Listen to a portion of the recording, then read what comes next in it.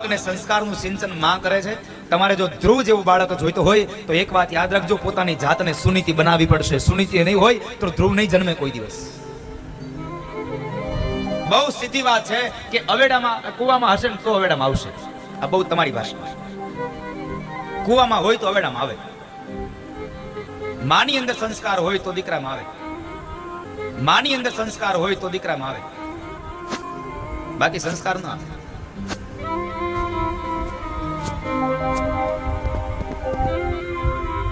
માં બરાબર ભીમ અગિયારસ ને ગોકુળ આઠમે ને બપોર વચ્ચે બેનપીણના ઘરે વહી જાય.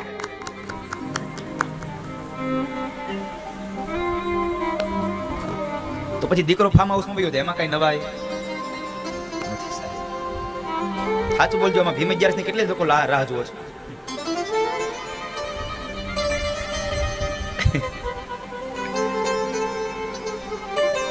હમણાં આવે છે ને ભીમ અગિયારસ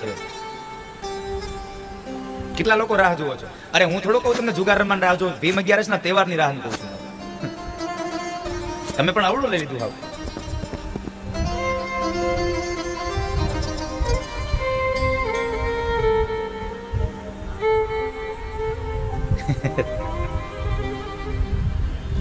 ક્યાંક ક્યાંક આપણે છે.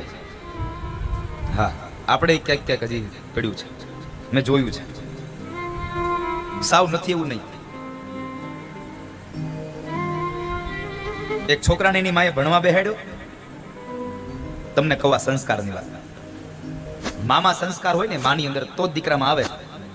હવે ધ્યાન રાખજો. છોકરાને ભણવા બેહાડ્યો, છોકરો એક દી બે દી ગયો આઠ દી થયા, એટલે છોકરાને મા એની લેસન કરવા બેહાડે, લેસન કરવા બેહાડે, પાટી પેન માગે, પાટી આપે, પેન નો આપે. ત્રણ ચાર દિવસ પેન નો આપ્યા, એટલે મા વિચારમાં કરી આ રોજ પેન ખોઈને આવતો હશે. એકવાર ખબર પડી ગઈ આ પેન ખોઈ નથી આવતો ખાઈને આવે છે.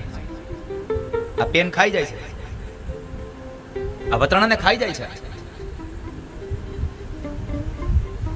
અને એ સમય બરાબરમાં જરાક મારી જેવી આકરા સ્વભાવની હશે. એટલે માસ્તરનો વારો કાઢવાટું તૈયાર થઈ બીજા દિવસે એક હાથમાં એને છોકરાનું બાવડું પકડ્યું અને એક હાથમાં છોકરાનું દફતર પકડ્યું અને ગામ વચ્ચે હળકતું ટીકણું નીકળ્યું.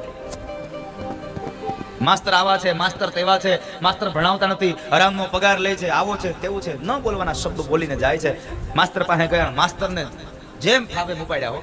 માસ્તર ચૂપ થઈ ગયા કારણ એને ખબર હતી આ હળકતું ટીપણું છે અને આમાં જો હું બોલીશ અને શબ્દરૂપી આહુતિ પડશે તો વળી પાછું ભભૂકશે. માસ્તર ચૂપ રહ્યા. બેનને માંડ કરીને પાછા મોકલ્યા. એ કહે છે, હું તમારા છોકરાને હું સમજાવી દઈશ. તમે ચિંતા કરો માં. તમારા છોકરાને હું સમજાવી દઈશ. હવે એ પેન નહીં ખાય.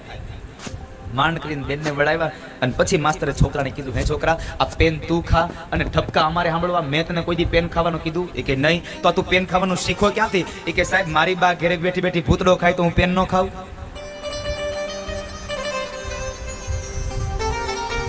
જેની માં ભૂતડા ખાય એના દીકરા પેન ખાય. મારો કહેવાનો ભાવ કારણ મહાપુરુષો કહે છે, કોઈ કવિ એમ કહે છે આ સંસ્કારો બજારમાં વેચાતા નથી મળતા, સંસ્કાર તો પરિવારમાંથી જ મળતા હોય છે. માટે પરિવાર સંસ્કારી હોવો જોઈએ.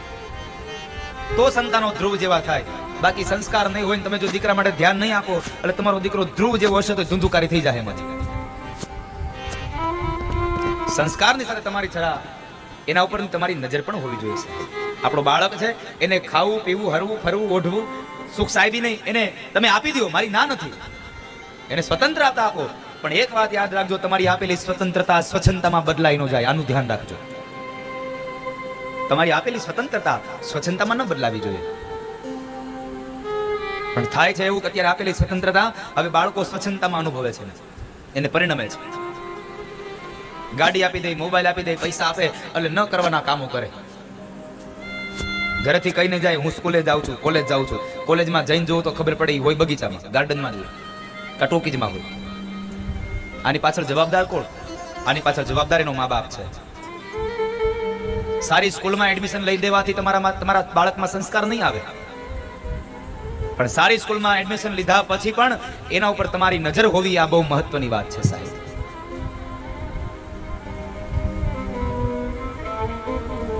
સ્વતંત્રતાની. સ્વતંત્રતા આપો. મારી કોઈ ના નથી. અત્યારના સમય પ્રમાણે ખૂબ આનંદ કરાવો. પણ એ સ્વતંત્રતા સ્વચ્છતામાં બદલાઈ ન જાય ને, એટલી પણ ધ્યાન રાખજો.